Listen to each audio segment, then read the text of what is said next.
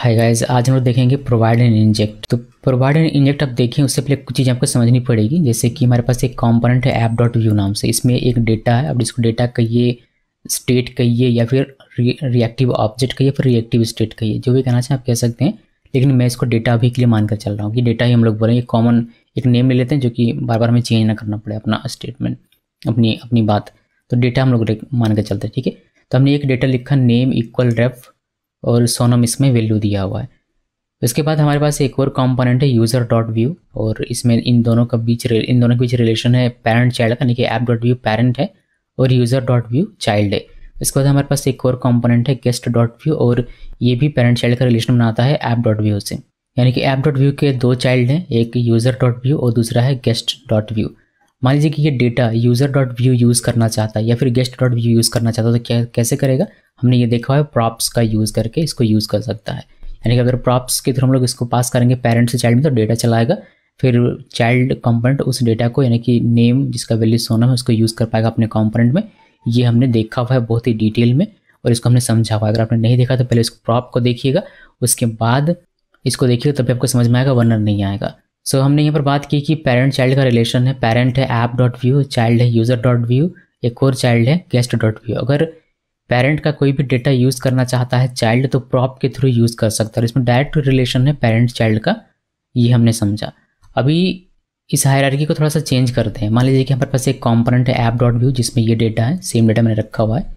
और इसका एक चाइल्ड है यूज़र डॉट व्यू और इसका एक चाइल्ड है गेस्ट डॉट व्यू इसका मतलब क्या है कि पेरेंट है, एक चाइल्ड है, फिर इसका ग्रैंड चाइल्ड है। तो यहाँ पर ऐसा नहीं है कि ऐप डॉट व्यू के दो चाइल्ड हैं, ऐसा नहीं है। यहाँ पर ऐप डॉट व्यू का एक चाइल्ड है जो कि यूज़र डॉट व्यू है और यूज़र डॉट व्यू का एक चाइल्ड है जो कि है गेस्ट डॉट व्यू तो यहाँ पेरेंट चाइल्ड और ग्रैंड चाइल्ड का बन रहा है रिलेशनशिप अब इस केस में अगर मुझे डेटा यूज़ करना है तो कैसे करूँगा? मान लीजिए कि डेटा मुझे यूज़र डॉट व्यू में यूज़ करा तो ये बहुत ईजी है। मैं क्या करूँगा? मैं नेम को पास कर दूँगा यूज़र डॉट व्यू में बिकॉज़ ये डायरेक्ट पेरेंट चाइल्ड का रिलेशन बना रहा है। तो मैंने इसको इसमें डाल दिया। तो ये यूज़र व्यू उसका यूज़ कर पाएगा। अब मान लीजिए कि गेस्ट डॉट व्यू में चाहिए तो फिर क्या होगा? बिकॉज़ ये डायरेक्ट रिलेशन तो बना नहीं रहा, यानी कि ऐप डॉट व्यू और गेस्ट डॉट व्यू का डायरेक्ट कोई रिलेशन नहीं है पेरेंट चाइल्ड का तो प्रॉप के थ्रू तो ये जाएगा नहीं। तो हमारे पास ऑप्शन क्या बचता है? हमारे पास ऑप्शन ये बचता है कि पहले ऐप डॉट व्यू से पास किया जाए यूज़र डॉट व्यू में, और यूज़र डॉट व्यू का चाइल्ड है गेस्ट डॉट व्यू तो पेरेंट चाइल्ड का यहाँ पर रिलेशन आपको दिख रहा होगा। अभी ये यूज़र डॉट व्यू इस डेटा को, यानी कि इस प्रॉप इस जो इसको प्रॉप के थ्रू मिला डेटा उसको एज अ प्रॉप पास कर सकता है अपने चाइल्ड यानी कि गेस्ट डॉट व्यू में। ये हमारे पास एक ऑप्शन है। अगर ऐप डॉट व्यू का data guest dot vue use करना चाहता है, उस केस में। इसको थोड़ा सा आप इस तरीके से देखिए। देखिए, ये इस तरीके से है। जिससे आपको समझ में आ गया ये पेरेंट हो गया चाइल्ड हो गया ग्रैंड चाइल्ड हो गया। तो पेरेंट चाइल्ड ग्रैंड चाइल्ड है। पेरेंट का डेटा चाइल्ड यूज़ कर सकता है, लेकिन ग्रैंड चाइल्ड नहीं कर सकता।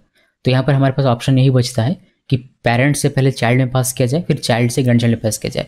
लेकिन इससे प्रॉब्लम क्या, इससे प्रॉब्लम ये हुआ कि चाइल्ड को उस डेटा की आवश्यकता ही नहीं थी, वो कहीं उसको यूज़ नहीं कर रहा। बट अननेसेसरीली हमें उसे उसको पास करना पड़ेगा बिकॉज़ यही एक तरीका है जिससे कि वह अपने चाइल्ड में पास करेगा और guest dot vue app dot vue के डेटा को यूज़ कर पाए। तो अभी के लिए आपको दिख रहा होगा कि हाँ चलो कर देते हैं, कोई इशू नहीं है। पेरेंट्स से चाइल्ड में आएगा चाइल्ड से ग्रैंड चाइल्ड में चलाएगा तो ऐप डॉट व्यू का डेटा गेस्ट डॉट व्यू में यूज़ हो जाएगा।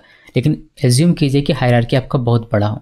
आपका बहुत सारे कंपोनेंट्स हो इन बिटवीन मान लीजिए कि अभी ऐप डॉट व्यू है यूज़र डॉट व्यू उसका चाइल्ड है, फिर यूज़र डॉट व्यू का चाइल्ड है guest dot vue guest dot vue का चाइल्ड है guest one dot vue guest one dot vue का चाइल्ड है गेस्ट टू डॉट व्यू अभी यहाँ पर मुझे क्या करना है कि ऐप डॉट व्यू में जो डेटा रखा हुआ है, वह डेटा मुझे यूज़ करना है गेस्ट टू डॉट व्यू में। तो मुझे क्या करना पड़ेगा? पहले ऐप डॉट व्यू से पास करना पड़ेगा as a prop user dot vue में, फिर फिर यूज़र डॉट व्यू उसको पास करेगा गेस्ट डॉट व्यू में बिकॉज़ उसका चाइल्ड है तो प्रॉप के थ्रू पास कर सकता है।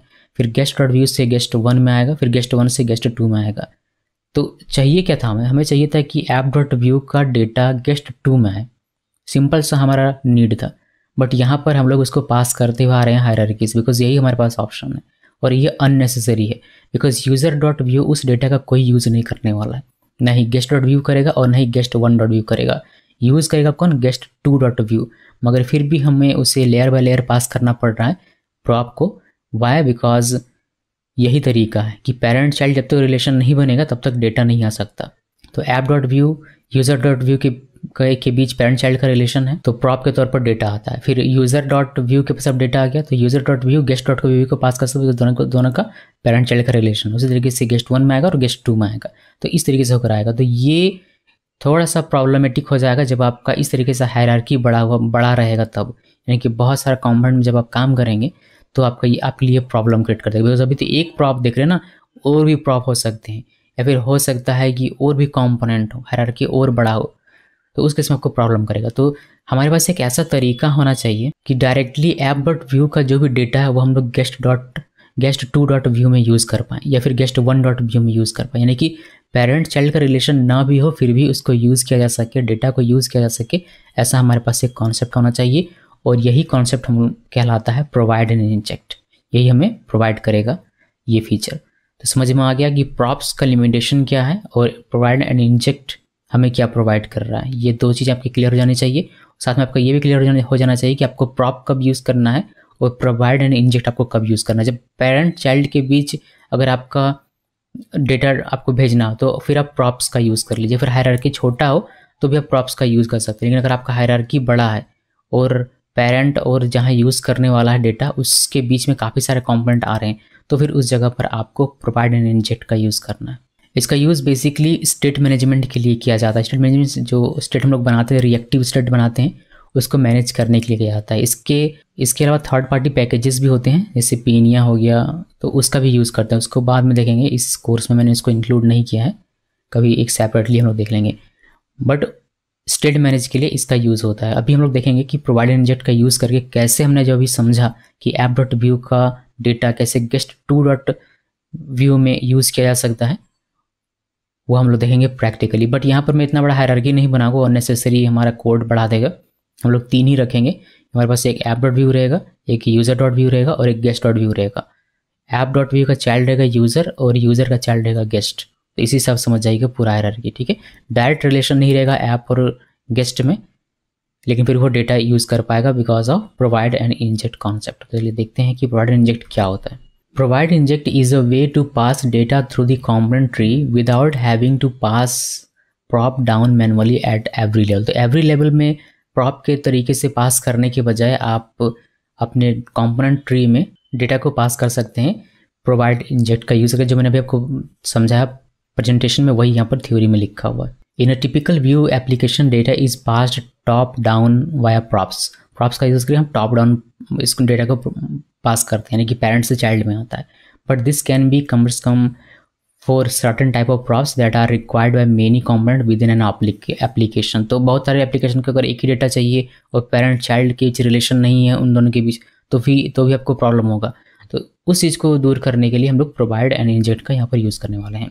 Provide inject is a way to share value like these between components without having to explicitly pass a prop through every level of the tree तो हर एक कॉम्पोनेंट में पास करने के बजाय आप जहाँ रिक्वायरमेंट हो डेटा का वहाँ पर आप यूज़ कर पाएँगे अगर आप कॉन्सेप्ट लगाएँगे provide and inject a parent component can serve as a dependency provider for all its descendants parent component जो यहाँ पर होगा, वह सर्व कर पाएगा डेटा को एज अ ये एक्ट करेगा एज अ डिपेंडेंसी प्रोवाइडर अपने जितने भी इसके डिसेंडेंट्स होंगे सभी के लिए।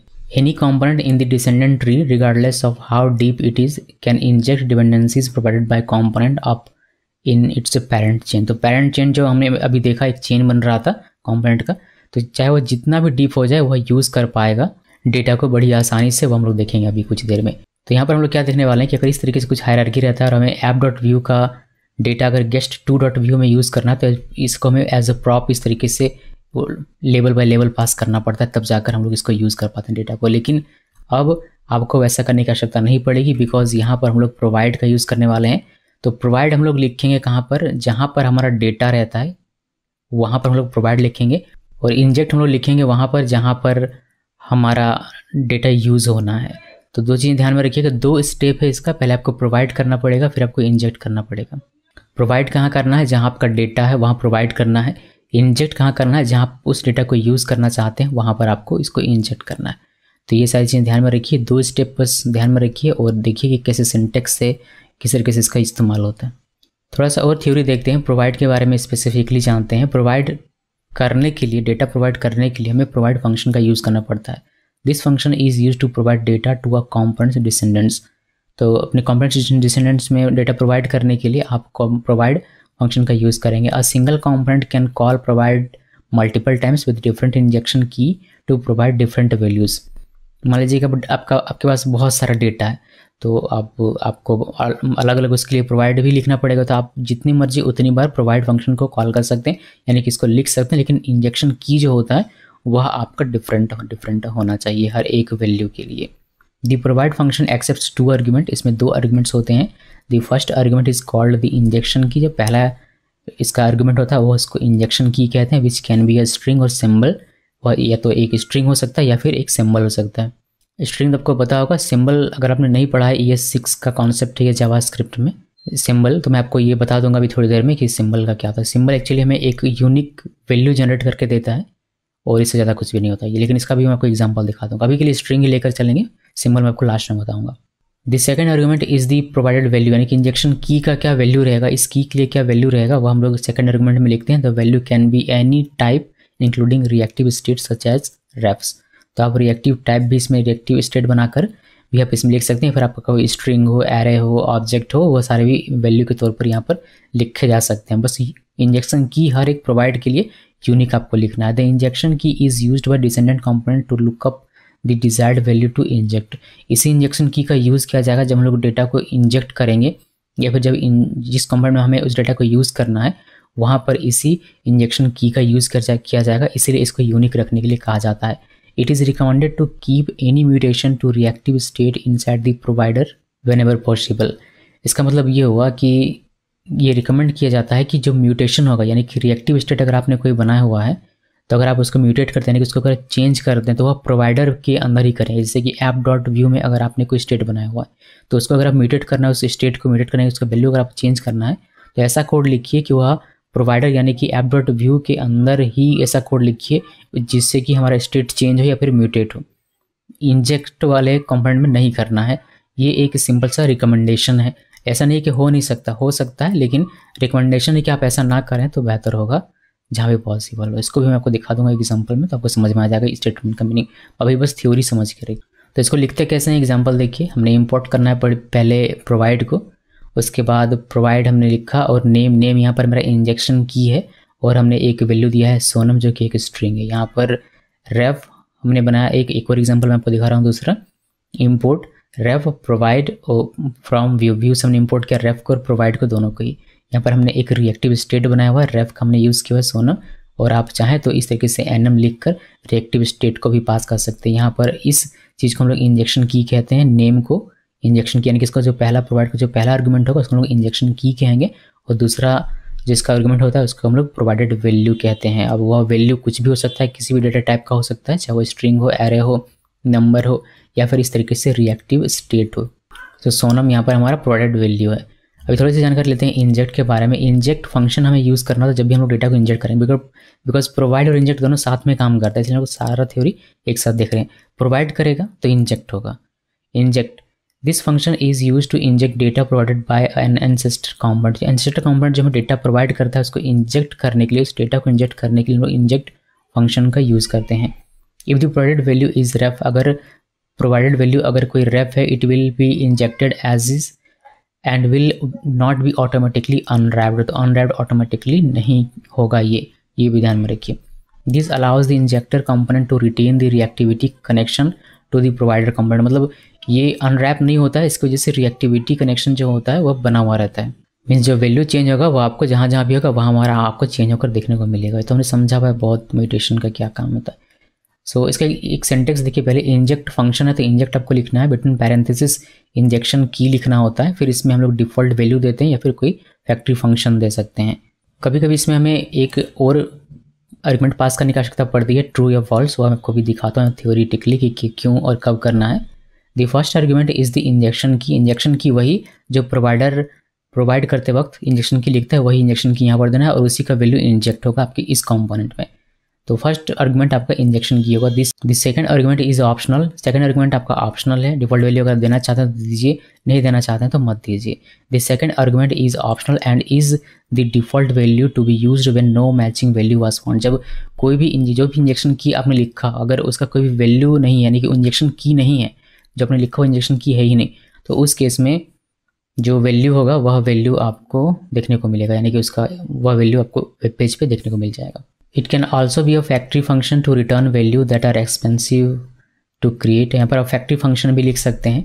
If the default value is a function then false must be passed as the third argument अगर हमारा फ़ंक्शन है थर्ड हमारा जो डिफ़ॉल्ट वैल्यू है, वह अगर कोई फ़ंक्शन लिखते हैं आप तो उस केस में आपको फॉल्स वहाँ पर लिखना होता है to indicate that the function should be used as the value instead of the instead of the factory so इस इन सभी का मैं आपको एग्ज़ाम्पल दिखाऊँगा जो जो आप स्टेटमेंट यहाँ पर देख रहे हैं। जितना समझ में आया, उतना काफ़ी है। और जो समझ में नहीं आया, वह आपको धीरे धीरे प्रैक्टिकल में समझ में आ जाएगा। इसका सिंटेक्स और एग्ज़ाम्पल देख लेते हैं। एग्ज़ाम्पल दिखाता हूँ डायरेक्टली मैं आपको। इंपोर्ट किया इंजेक्ट इंपोर्ट करना है। और यहाँ पर देखिए मैंने नेम लिख, नाम लिखा हुआ है N double A M N double A M और यहाँ पर इंजेक्ट लिखा और यहाँ पर इंजेक्शन की हमने लिखा है ये इंजेक्शन की किसी ने प्रोवाइड किया हुआ कहीं कंपोनेंट से प्रोवाइड लिख कर तो वह हमने यहाँ पर लिखा। विथ इंजेक्शन की इसमें डिफ़ॉल्ट वैल्यू हमने नहीं दिया है, ये इसका कोई वैल्यू होगा, वह वैल्यू नाम में चलाएगा और उसका आप यूज़ कर पाएँगे अपने इस कंपोनेंट में। उसी तरीके से डिफ़ॉल्ट वैल्यू के साथ कर सकते जैसे कि नेम हमने यहाँ लिखा इंजेक्शन की अगर इस इंजेक्शन ये इंजेक्शन की नहीं है, या फिर या फिर इस इंजेक्शन की का कोई वैल्यू नहीं दिया गया है तो उस केस में राहुल यूज़ किया जाएगा डिफ़ॉल्ट वैल्यू के तौर पर। इसी तरीके से अगर कोई आप, कोई फ़ंक्शन है जो कि कोई डिफ़ॉल्ट वैल्यू रिटर्न करा था, आप उसको इस तरीके से लिख सकते हैं। नाम लिखा इक्वल इंजेक्ट और यहाँ इंजेक्शन की हमारा नेम है, और यहाँ पर देख सकते हैं कि हमने एक फ़ंक्शन लिखा हुआ है एरो फ़ंक्शन पैरेंथेसिस दिया एरो दिया, राहुल, और कॉमा देकर आपको यहाँ पर ट्रू लिखना है, जिससे कि इसको समझ में आएगा कि ये फ़ंक्शन रिटर्न कर रहा है एक वैल्यू जो कि हमारा यहाँ इस केस में राहुल है। तो ऊपर वाला आप जो देख रहे हैं स्ट्रिंग दे दिया हमने डायरेक्ट यानी कि ये वाला। जिसमें नेम और राहुल लिखा ये और ये देखा जाए तो सेम ही है बिकॉज़ ये भी एक स्ट्रिंग ही रिटर्न कर रहा है, ज़्यादा कोई लॉजिक उसमें लगाया हुआ नहीं है। उसी तरीके से अगर आप कोई फ़ंक्शन जो फ़ंक्शन है वो एज अ फ़ंक्शन ही देना है तो उस केस में आपको यहाँ पर बस फॉल्स लिखना होता है, बाकी सारी चीज़ें आप देख रहे हैं कि हमने सेम लिखा हुआ है। तो ये एक फ़ंक्शन है, ये रिटर्न नहीं करा बल्कि एक फ़ंक्शन है। उसी तरीके से आप यहाँ पर फैक्ट्री दे सकते हैं, कुछ इस तरीके से वैल्यू लिखा इक्वल इंजेक्ट की और यहाँ पर न्यू का हमने यूज़ किया मैप या फिर कोई क्लास होता है तो क्लास इंस्टेंस क्लास भी आप यहाँ पर लिख सकते हैं। जैसे मैंने कोई क्लास बनाया सम क्लास नाम से तो वह भी न्यू के साथ आप यहाँ पर यूज़ कर सकते हैं। तो अभी के लिए हम लोग, हम लोगों ने अभी तक जो कुछ भी थ्योरी देखा, उतना हम लोग प्रैक्टिकल देखेंगे और उसके बाद आगे हम लोग डिस्कस करेंगे कि और जो भी कॉन्सेप्ट रहेगा उसके बारे में। तो एक प्रोजेक्ट क्रिएट करते हैं N P M I N I D Vue और लेटेस्ट लिखिए इंटरप्रेस करते हैं। और ये सी एच थर्टी वन हमारा चैप्टर चल रहा है अभी सी एच थर्टी वन और यहाँ पर इंटरप्रेस करते जाना है और ये हमारा क्रिएट हो जाएगा C D C H thirty one और एन पी एम आई लिख के इंटरप्रेस कीजिए और ये सारे पैकेजेस इंस्टॉल करेगा जो नॉर्मली हम लोग करते हैं बिल्कुल उसी को फॉलो करते हैं। तो स्टार्टर्स हम लोग कॉपी करेंगे अपना जो कॉम्पोनेंट रहेगा वह। हालाँकि इसका मैं यूज़ अब की बार नहीं करने वाला हूँ मगर चलिए इसको नहीं कॉपी करते हैं। ठीक है तो ये हमारा हो गया अपने इसको कर, क्या करेंगे? N P M run tape because हमें अपना खुद का नाम अलग अलग चेंज करके बनाना पड़ेगा। यहाँ पर इसको मैंने रन किया। और ये हमारा कुछ इस तरीके से डिफ़ॉल्ट दिख रहा है, जो इसका अपना डिफ़ॉल्ट टैमलेट होता है, वह हमें देखने मिले बट हमें ये चाहिए नहीं तो हम लोग क्या करेंगे सिंपली यहाँ आते हैं एस आर सी में कॉम्पोनेंट्स में, और ये सारी चीज़ें मैं डिलीट कर दूँगा। यहाँ से यहाँ तक का ये सब कुछ डिलीट और साथ में ये जो एसेट्स आप देख रहे हैं, ये भी हम लोग डिलीट कर देते हैं। तो ये सी वगैरह में डिलीट कर दिया, यहाँ पर आएँगे, और ये कुछ सब कुछ मुझे चाहिए नहीं तो मैं इसको भी डिलीट कर देता हूँ। और स्टार्टर में से एक चीज़ मैं कॉपी कर लेता हूँ, ये जो हमारा ऐप के अंदर ये डेटा है, इसको किया कॉपी और इसमें पेस्ट कर देते हैं। बस नॉर्मल सा डेटा है, ज़्यादा कुछ भारी डेटा है नहीं। यहाँ पर हेलो नहीं रहेगा हमारा तो मैं इसको करता हूँ यहाँ से गायब। तो इसको करता हूँ गायब। पता नहीं क्यों मैंने इसको किया। सब तो गायब ही कर दिया मैंने। कोई नहीं, हमारा कंपोनेंट इसमें मेन से इसको हटा देते हैं बिकॉज़ ये डिलीट कर चुके हैं हम लोग तो ये इसका आवश्यकता नहीं है। अपना खुद का खुद का एक कॉम्पोनेंट बनाते हैं। यहाँ पर कॉम्पोनेंट में राइट क्लिक करते हैं न्यू फ़ाइल इसका नाम रखते हैं यूज़र डॉट जे एस एक और माफ़ कीजिएगा जे नहीं व्यू लिखना है। गड़बड़ कर दिया मैंने। जे नहीं लिखना, इसमें व्यू व्यू लिखते हैं ना हम लोग, इसका एक्सटेंशन तो जे नहीं लिख के व्यू होगा। यूज़र डॉट व्यू उसी तरीके से एक और कॉम्पोनेंट बनाएँगे इसका नाम रखेंगे गेस्ट डॉट व्यू ओके अभी इसमें हम लोग सिंपल सा ये जो कोड है, इसी को कॉपी पेस्ट करते हैं। यहाँ भी कॉपी पेस्ट कर दिया, यहाँ भी पेस्ट कर दिया, इसको सेव करते हैं। अभी क्या होगा कि इसमें तीन ही मैं आपको दिखा रहा हूँ, यानी कि पेरेंट चाइल्ड और ग्रैंड चाइल्ड मैंने आपको बताया था कि ऐप डॉट व्यू से गेस्ट टू डॉट व्यू में मुझे यूज़ करना है। तो यहाँ पर आप इसको समझिए कि ऐप डॉट व्यू से गेस्ट डॉट व्यू में यूज़ करना है, जबकि इन दोनों के बीच पेरेंट चाइल्ड का डायरेक्ट रिलेशन नहीं होगा। तो अभी के लिए क्या करते हैं गेस्ट गेस्ट में आते हैं यहाँ पर और एक नॉर्मल से एच वन लिखते हैं और इसमें लिखते हैं गेस्ट ये लिखा सेव किया इसी को कॉपी करके यहाँ पर आते हैं पेस्ट किया और यहाँ पर लिख देते हैं, ये हमारा यूज़र है और ये हमारा ऐप है। ठीक है, ये हमारा है क्या? ऐप अभी तक हमने अपना मेन जो कंटेंट उसको हमने स्टार्ट ही नहीं किया अभी तक एग्जांपल देखा। तो ये नॉर्मल सब, इसमें वेब पेज में देखते हैं, ये हमें दिखना चाहिए। इसको रिफ्रेश किया ऐप दिख रहा है बिकॉज़ हमने इसको लगाया नहीं है, यानी कि ऐप का चाइल्ड बनेगा कौन? यूज़र और यूज़र का चाइल्ड बनेगा कौन? गेस्ट डॉट व्यू यानी कि ऐप और गेस्ट कुछ डायरेक्ट कोई रिलेशन नहीं होगा, मगर फिर भी हमें डेटा यूज़ करना है ऐप का ही, अपने गेस्ट डॉट व्यू में। तो वही तो है हमारा प्रोवाइड और इंजेक्ट तो इसके लिए मैं पहले इंपोर्ट कर लेते हैं। तो इंपोर्ट यहाँ लेकिन डायरेक्टली यहाँ पर लिखता हूँ मैं।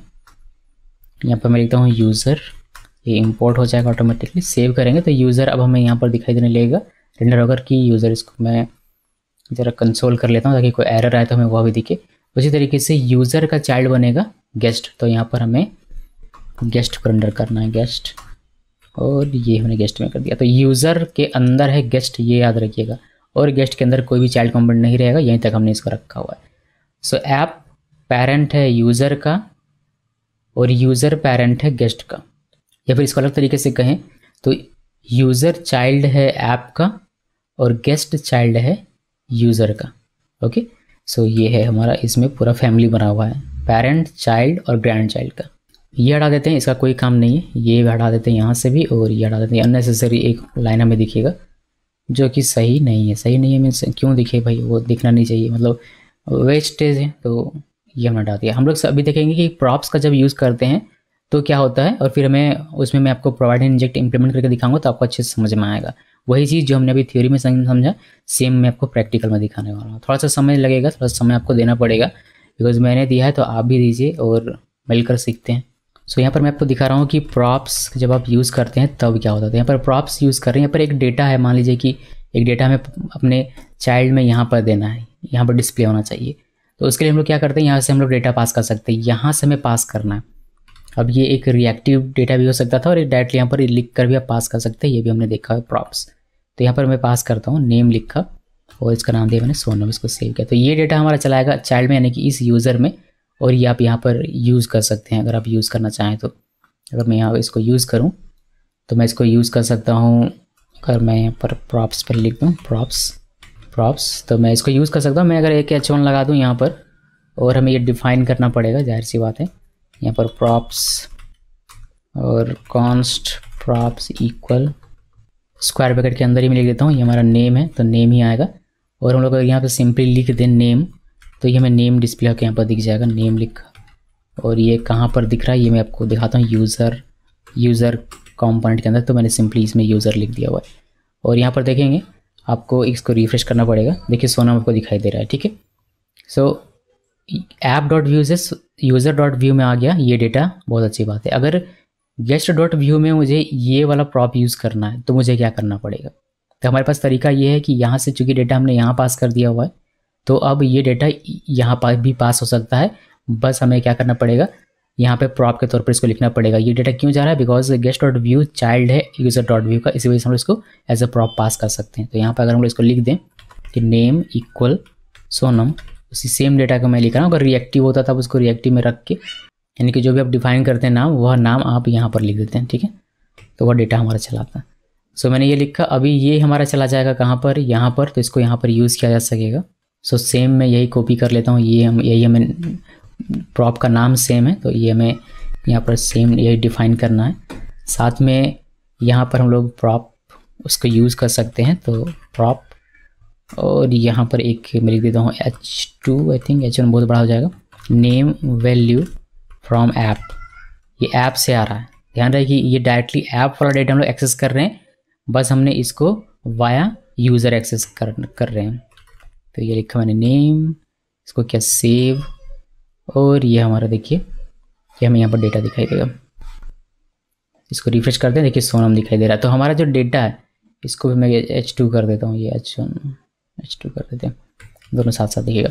तो मुझे क्या करना था, मेरी रिक्वायरमेंट थी कि ऐप डॉट व्यू का जो भी ये डेटा है, अब ये रिएक्टिव डेटा हो एरे हो ऑब्जेक्ट हो, कुछ भी हो, एक डेटा हमने मान के चला कि ये डेटा तो ये डेटा मुझे यूज़ करना था गेस्ट डॉट व्यू में। तो कैसे करते हैं? उसके लिए हमने क्या किया? ये ऐप डॉट व्यू से पहले हमने पास किया यूज़र डॉट व्यू में बिकॉज़ ये दोनों पेरेंट चाइल्ड है। और यहाँ मुझे ये यूज़ ही नहीं करना था। यहाँ मुझे ये यूज़ नहीं करना है। फिर भी मुझे ये पास करना पड़ा क्यों? क्योंकि ये दोनों पेरेंट चाइल्ड है और directly guest dot Vue app dot Vue के डेटा को यूज़ नहीं कर सकता। इसी वजह से पहले हमने इस डेटा को यूज़र डॉट व्यू में पास किया। फिर यूज़र डॉट व्यू ने पास कर दिया इसको गेस्ट डॉट व्यू में, क्योंकि दोनों के बीच पेरेंट चाइल्ड का रिलेशन है। तो इस तरीके से ऐप डॉट व्यू का डेटा आप गेस्ट डॉट व्यू में यूज़ कर सकते हैं। लेकिन ये प्रॉब्लम करेगा जब इसका हायरार्की बड़ा हो जाएगा। जैसे मैंने किसी मैंने आपको पीपीटी में दिखाया हुआ था। सो so, यहाँ पर हमें हमारे हमें बचाने के लिए आता है कौन? प्रोवाइड और इंजेक्ट चलिए अब प्रोवाइड और इंजेक्ट का कॉन्सेप्ट हम लोग शुरू करते हैं। अभी समझ में आ गया कि प्रॉप का क्या लिमिटेशन है? अननेसेसरीली हमें यहाँ पर पास करना पड़े जबकि हमें यहाँ यूज़ भी नहीं करना।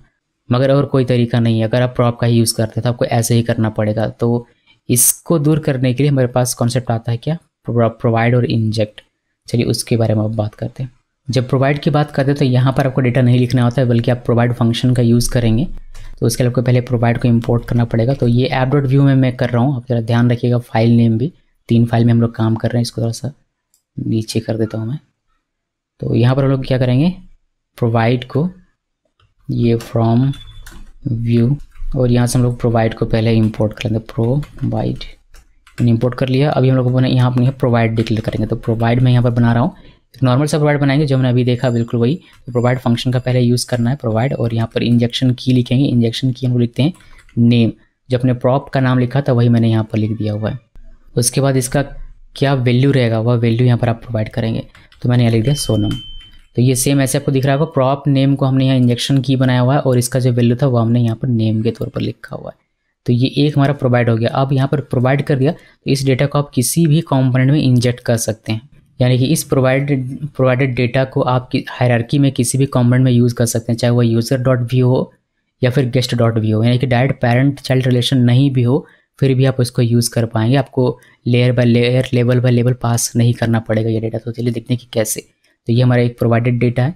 इसको हमें यूज़ करना है गेस्ट डॉट व्यू में डायरेक्ट रिलेशन नहीं है पेरेंट चाइल्ड का, फिर भी हम लोग यूज़ करेंगे। देखिए कि कैसे।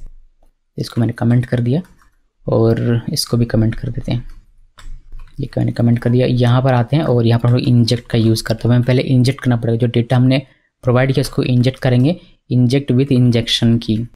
कैसे करना है? पहले इंजेक्ट का आपको इंपोर्ट करना पड़ेगा तो मैंने इसको इंपोर्ट कर लिया क्विकली और यहाँ पर आपको अपना इंजेक्शन का नाम लिखना है। तो इंजेक्शन का नाम क्या है? नेम ही हमने लिखा हुआ है। ये ज़रा मैं ऊपर कर देता हूँ। यहाँ पर। सो so, ये जो नाम आपने लिखा प्रोवाइड में देते हुए ये इंजेक्शन की है और यही नाम हमने यहाँ पर लिखा बिकॉज़ वही इसी का वैल्यू हमें एक्सेस करना है इसी वजह से। सो so, ये हमने लिख दिया। इसके बाद आप ये रिटर्न करेगा आपको तो आप इसको होल्ड कर लीजिए किसी एक जगह पर। जैसे कि मैं इसको होल्ड कर लेता हूँ मान लीजिए। यहाँ पर आप नेम लिख सकते हैं वैसे नेम इक्वल लेकिन मैं थोड़ा सा इसको चेंज कर देता हूँ यहाँ पर इसको नाम कर देते हैं। ठीक है? ताकि अलग अलग आपको दिखाई ऐसा ना लगे कि यहाँ जो लिखा वही यहाँ लिखना है। ऐसा ज़रूरी नहीं है लेकिन आप लिख सकते हैं। तो मैंने इसको नाम लिख दिया हुआ। अब ये हमारे पास आ जाता है तो हम लोग इसका वैल्यू एक्सेस कर सकते हैं। आप यहाँ पर यूजिंग इंजेक्ट यानी कि इंजेक्ट को यूज़ कैसे करेंगे? यूजिंग इंजेक्ट कैसे यूज़ करना है? एक एच टू बनाते हैं।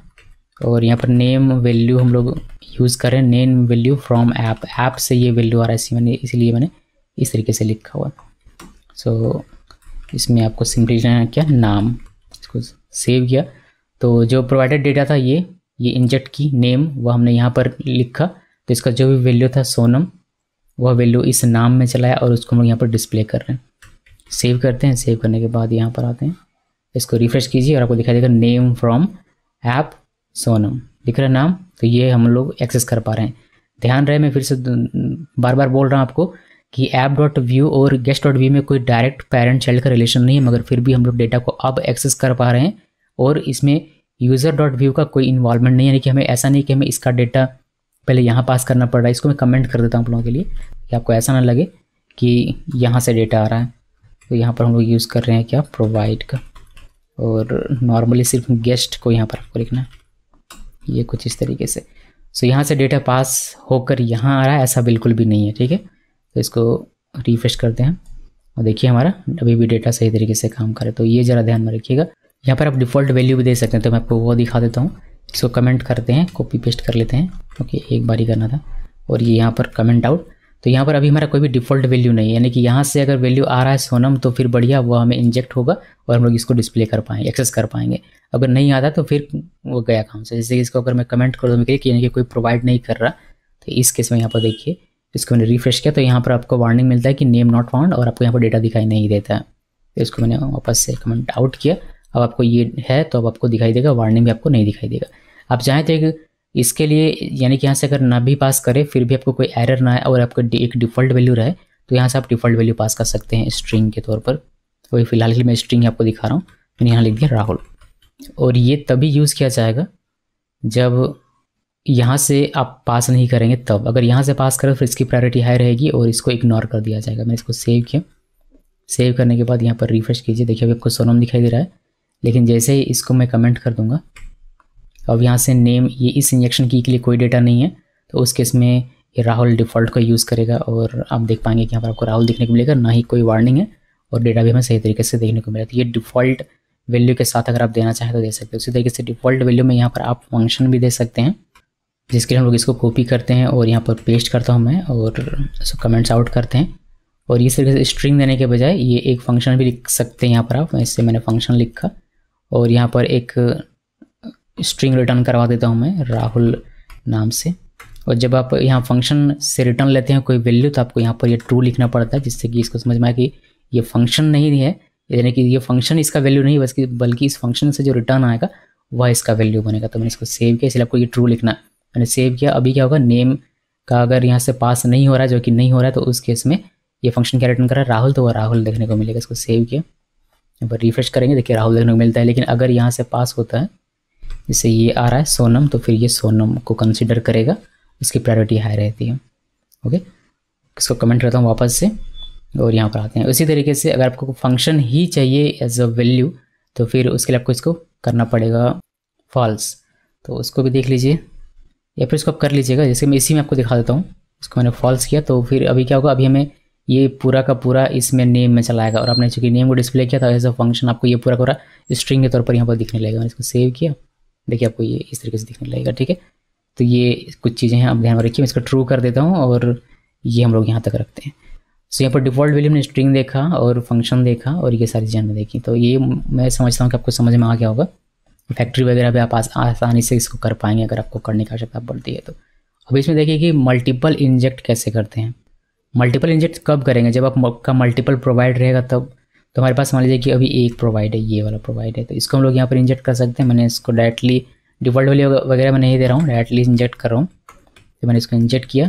ये नेम में जो भी है सोनम है तो नाम में आएगा और वो आपको यहाँ पर देखने को मिल जाएगा बिकॉज़ हमने इसको यहाँ पर लिखा हुआ है। इसको सेव किया और यहाँ पर आप देखेंगे, आपको सोनम देखेंगे, इसको रिफ्रेश कीजिए, कोई वार्निंग नहीं मिलेगा ये। अभी एक और प्रोवाइड मैंने कहा था, मैंने बताया था आपको थ्योरी में कि आप मल्टीपल प्रोवाइड यहाँ पर यूज़ कर सकते हैं। तो एक और प्रोवाइड हम लोग बनाते हैं और इसका जो की बनेगा इंजेक्शन की ये बनेगा मान लीजिए एज हमने लिखा और इसका वैल्यू मैं चेंज करता हूँ स्ट्रिंग ना होकर ये हो जाएगा नंबर तो ये भी आप यहाँ पर इंजेक्ट यूज़ करना चाहते हैं तो पहले आपको इसको इंजेक्ट करना पड़ेगा। इसको मैं इस तरीके से कॉपी पेस्ट कर देता हूँ। यहाँ पर लिख दीजिए एज और यहाँ पर एज कर देंगे। सो so, इससे क्या होगा? इससे इंजेक्ट हो जाएगा एज यानी कि एज का जो भी वैल्यू है जो ट्वेंटी सेवन है वो ट्वेंटी सेवन यहाँ चला आएगा फिर आप इसको यूज़ कर पाएँगे यहाँ पर। तो इसी को कॉपी पेस्ट करते हैं। और यहाँ पर सिंपली मैं कर देता हूँ, ये एज वैल्यू है। फ्रॉम ऐप याद रहे कि ऐप का डेटा है, ये जो हम लोग गेस्ट डॉट व्यू में यूज़ कर रहे हैं, और गेस्ट डॉट व्यू और ऐप डॉट व्यू का डायरेक्ट कोई रिलेशन नहीं है। ओके हमने यहाँ पर एज लिख देना है। सेव किया तो हमें एज ट्वेंटी सेवन जो वह भी हमें देखने को यहाँ पर मिल जाएगा। देखिए ट्वेंटी सेवन देखने को इसको रिफ्रेश कीजिए। कोई वार्निंग नहीं होना चाहिए। इसमें क्या non prop attribute name were pass to component but could not be automatically this okay let miss okay, ये जो ये हमारा प्रॉब्लम कर रहा है तो इसको मैं कमेंट कर देता हूँ। इसको मुझे पहले ही कर देना चाहिए था मैं भूल गया था इसको। इसको प्रोवाइड करते हैं और यहाँ पर सिंपली यूज़र को लिख देते हैं। सेव किया। यहाँ पर तो हमने पहले से किया हुआ ही इसको सेव किया और इसको रिफ्रेश करते हैं। देखिए, अभी कोई वार्निंग नहीं है तो बढ़िया। ओके सो ये मैं भूल गया था करना, इसको मुझे पहले कर देना चाहिए था। कोई नहीं, अभी हमने देख लिया। तो एक और हम लोग पास करते हैं। और अब की बार हम लोग एक ऑब्जेक्ट पास करेंगे। तो प्रोवाइड लिखा और इसमें इंजेक्शन की देना इंजेक्शन की मैंने दिया कोर्स अपनी मर्ज़ी से कुछ भी इंजेक्शन की लिख सकते हैं और यहाँ पर हम लोग एक ऑब्जेक्ट पास करेंगे। ये कुछ इस तरीके से करली अपने करली क्लोज के अंदर हम लोग ऑब्जेक्ट पास करते हैं। की, पहला प्रॉपर्टी मैंने लिखा नेम और फिर यहाँ पर व्यू जेस कोर्स का नाम मैंने लिख दिया कॉमा देकर। और फिर एक और की लिखते हैं ड्यूरेशन और यहाँ पर हम लिख देंगे सिक्स मंथ्स या फिर फाइव मंथ्स सिक्स मंथ लिख देता हूँ। तो इसको कैसे इंजेक्ट करते हैं? अब अभी मैंने ऑब्जेक्ट दिखा दिया तो आप एरे वगैरह भी कर लीजिएगा या फिर एरे ऑफ़ ऑब्जेक्ट भी कर लीजिएगा। किसी भी तरह का यहाँ पर वैल्यू हो सकता है, किसी भी तरह का एनी टाइप ऑफ़ डेटा आप यहाँ पर वैल्यू के तौर पर लिख सकते हैं। मैंने आपको ऑब्जेक्ट अभी दिखाती है। ये इंजेक्ट कैसे करेंगे? इंजेक्ट करने का तरीका बिल्कुल सेम है, वही है। बस आपको यहाँ पर लिखना है कोर्स दोनों ही जगह कर देता हूँ मैं। मैंने कोर्स लिख दिया। आप चाहें तो अपनी मर्ज़ी से यहाँ पर कुछ भी लिख सकते हैं बट ये जो कोर्स है, ये ये इस इंजेक्शन की का नाम ही होना चाहिए। यानी कि यहाँ पर जो लिखते हैं वो और यहाँ पर जो लिखते हैं वो सेम होना चाहिए। ये आपका चेंज हो सकता है। जैसे कि यहाँ पर चेंज यहाँ नेम है बट यहाँ पर मैंने नाम लिखा हुआ तो मैंने आपको पहले ही बता दिया। तो अभी हमारे पास कोर्स चला आता है। अभी कोर्स को हम लोग यहाँ पर डायरेक्टली प्रिंट करते हैं तो हमें पूरा का पूरा ऑब्जेक्ट मिल जाएगा। मैं करके दिखाता हूँ। मैंने इसमें कोर्स वैल्यू फ्रॉम ये लिखा और यहाँ पर कोर्स लिखेंगे। ये कोर्स ऑब्जेक्ट ये वैल्यू नहीं है, ये कोर्स ऑब्जेक्ट है फ्रॉम ऐप तो आप देखेंगे कि इस ऑब्जेक्ट में क्या क्या है? इसमें आपने एक नेम है और ड्यूरेशन है तो आपको ये देखने को मिल जाएगा। इस पेज में। देखिए नेम और ड्यूरेशन देखने को आपको मिल है। इसको डी चूँकि एक ऑब्जेक्ट है तो आप इसको डी स्ट्रक्चर कर सकते हैं। अगर करना चाहें तो यहाँ पर इंजेक्ट करते वक्त। तो यहाँ पर ऐसे लिखिए। और यहाँ पर चूँकि ये ऑब्जेक्ट दे रहा है कोर्स तब इसको डी स्ट्रक्चर यहाँ पर कर सकते हैं। जैसे क्या क्या रहा है? नेम और ड्यूरेशन तो इसको डी स्ट्रक्चर कर लिया। अब आप इसको एक एक करके भी एक्सेस कर सकते हैं। या फिर यहाँ पर चाहते हैं तो डॉट नेम या फिर डॉट ड्यूरेशन करके भी आप एक्सेस कर सकते थे। बट डी स्ट्रक्चर करने के बाद आप इसको कुछ इस तरीके से एक्सेस कर सकते हैं। कोर्स नेम वैल्यू फ्रॉम और यहाँ पर हमारा ये डायरेक्टली डी स्ट्रक्चर्ड है।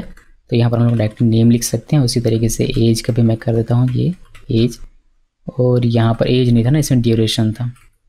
चेंज करता हूँ मैं। ड्यूरेशन ये लिखा और यहाँ पर नेम की जगह पर ड्यूरेशन लिखना। इसको सेव किया। और बस इसमें ये डिस्ट्रक्चर हो चुका है हमारा तो ये हमारा यहाँ पर चला, इसको सेव किया। सेव करने के बाद इसको रिफ्रेश करेंगे। देखिए, आपको व्यू जैस दिखेगा नेम कोर्स का नाम और सिक्स मंथ ड्यूरेशन इस तरीके से आपको देखने को मिल जाता है। तो ये मल्टीपल जब आप करते हैं तो उस केस में आपका होगा तो मैं यहाँ पर कमेंट तो मैंने लिख ही दिया हुआ है मल्टीपल इंजेक्ट चलिए, बहुत अच्छी बात है, यहाँ तक हमने इतना देखा। अभी मैं इसको कमेंट कर देता हूँ, यहाँ पर और ये भी हम लोग कमेंट कर देंगे। एक एक करके कमेंट कर दूँ क्या? एक एक करके कर देता हूँ। थोड़ा सा मेहनत मैं करता हूँ ताकि आप लोग थोड़ा सा समय बच जाए आप लोगों का। ये एक करके मैंने कमेंट कर दिया। अभी हम लोग देखेंगे कि हम लोग अभी क्या करते हैं कि यहाँ पर डायरेक्टली लोग वैल्यू लिख देते हैं। यहाँ पर वैल्यू यहाँ पर वैल्यू लेकिन अगर रिएक्टिव स्टेट कोई बनाते हैं तो उसको कैसे करते हैं वो देखिए। तो यहाँ पर आइए और इसको कमेंट कर देता हूँ। ये कमेंट रहेगा, ये कमेंट वैसे ज़रूरी नहीं है कमेंट करना, मगर फिर भी आपको वो बहुत सारा कोड ना दिखे एक साथ, इसलिए मैं यहाँ पर कर रहा हूँ। तो provide reactive state reactive state reactive state ठीक लिखा हुआ स्पेलिंग तो यहाँ पर हम लोग एक रिएक्टिव बनाएँगे इसलिए मैंने लिखा कॉन्स्ट प्राइस इक्वल रेफ का मैं यहाँ यूज़ कर रहा हूँ, और इसका हम लोग वैल्यू देते हैं, मान लीजिए हंड्रेड ये मैंने दिया। तो इसको कैसे प्रोवाइड करेंगे? बिल्कुल आसान सा तरीका है प्रोवाइड लिखना है और इंजेक्शन की यहाँ पर देना है। मैं सेम वही प्राइस ही दे देता हूँ इंजेक्शन की। आप चाहें तो यहाँ पर अपने मर्ज़ी से कुछ भी लिख सकते हैं। और इसका क्या बनेगा? प्राइस सो so, अगर आप चेंज करना चाहें जैसे कि यहाँ प्राइस की जगह कोस्ट लिखना चाहें तो ये भी आप कर सकते हैं। फिर ये इंजेक्शन की बनेगा यानी कि यहाँ पर जब भी आप इंजेक्ट करेंगे तो आपको कोस्ट लिख कर आगे बढ़ना पड़ेगा। बट ज़्यादातर केसेस में आपको ये सेम सेम देखने को मिलेगा किसी से कि कन्फ्यूज़न नहीं होता है। अगर मैंने बता दिया कि कौन सा कहाँ पर लिखना है ये फिर अभी के लिए कोस्ट इसको कर देता हूँ बाद में चेंज कर देता हूँ। तो हमने प्रोवाइड किया इसको और हमारा ये जैसा रहेगा जैसा है वैसे ही रहेगा। और इसको इंजेक्ट कैसे करना है वो देखिए तो गेस्ट में आते हैं और यहाँ पर इंजेक्ट करते हैं। और इंजेक्ट करने वाले रिएक्टिव इंजेक्ट रिएक्टिव स्टेट और इसमें क्या करना है? सेम वही कॉन्स्ट लिखा, यहाँ पर आप कॉस्ट लिख दीजिए इक्वल और यहाँ पर इंजेक्ट और यहाँ पर इंजेक्शन की लिखना है जो कि हमारा है कॉस्ट ओके यहाँ पर आप अपनी मर्ज़ी से कुछ भी लिख सकते हैं, जैसे कि यहाँ पर लिख दीजिए कीमत, ये भी लिख सकते हैं आप। तो अभी मैं ये करके दिखाता हूँ, बाकी बाद में मैं सब में सेम सेम कर दूँगा, ताकि आपको पता चले कि ये यहाँ लिखा, वही यहाँ लिखने की आवश्यकता नहीं है, ये अलग भी हो सकता है। अब इसको यूज़ करने की बारी तो यूज़ कैसे करेंगे? तो यहाँ पर आते हैं और यहाँ पर मैं पहले कमेंट लिख देता हूँ कि using reactive state inject state inject और यहाँ पर अभी तक जैसे यूज़ करते थे, बिल्कुल वैसे ही प्राइस फ्रॉम कहाँ से, ये ऐप से है। और यहाँ पर आपको सिंपली करना है, लिखना है क्या? कीमत। इसको सेव किया। सेव करने के बाद आप अगर इसको रिफ्रेश करेंगे तो आपको यहाँ पर हंड्रेड दिख जाएगा। तो ये कैसे काम किया? देखिए हमने एक यहाँ पर पहले स्टेट बनाया रिएक्टिव स्टेट या फिर रिएक्टिव ऑब्जेक्ट भी कह सकते हैं। ये बनाया मैंने प्राइस नाम से।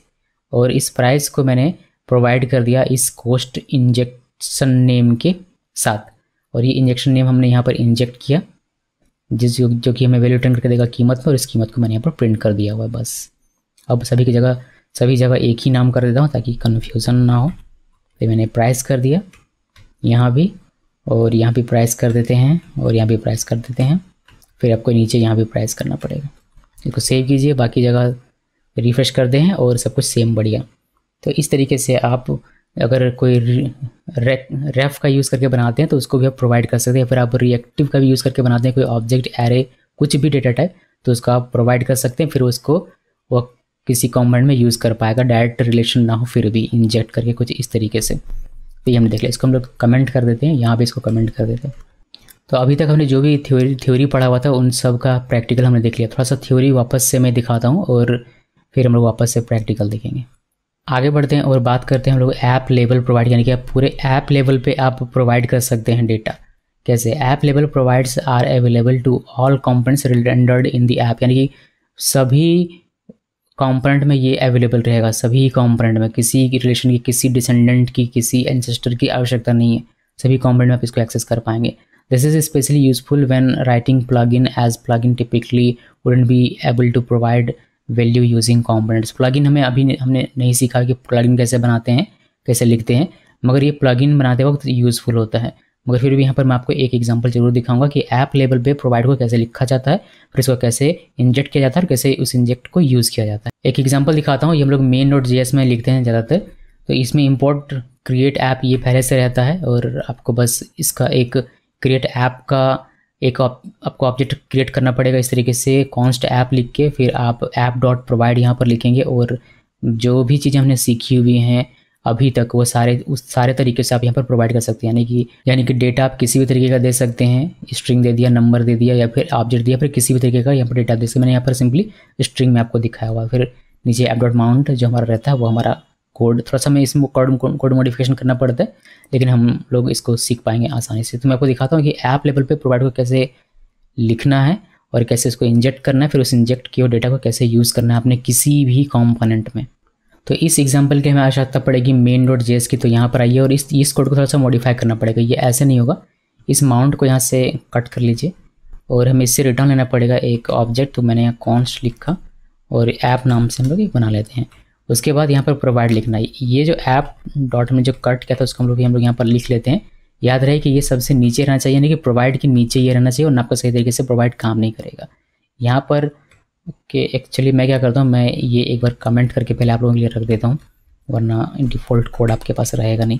इसको कमेंट किया और यहाँ पर हम लोग देते हैं ऐप लेवल प्रोवाइड तो फिर पहले इस तरीके से हमने ऐप बना लिया, फिर माउंट ये जो था उसी को हमने इस तरीके से दो लाइन में लिखा हुआ, ये सेम कोड इस तरीके से दो लाइन में लिखा गया। ये आई थिंक यहाँ पर नहीं था, इसको हटा देता हूँ मैं। ओके सो ये दो लाइन में हमने लिखा, ये सेम कोड हमने दो लाइन में लिखा हुआ है। अभी अभी इसके बीच में हमें प्रोवाइड लिखना है।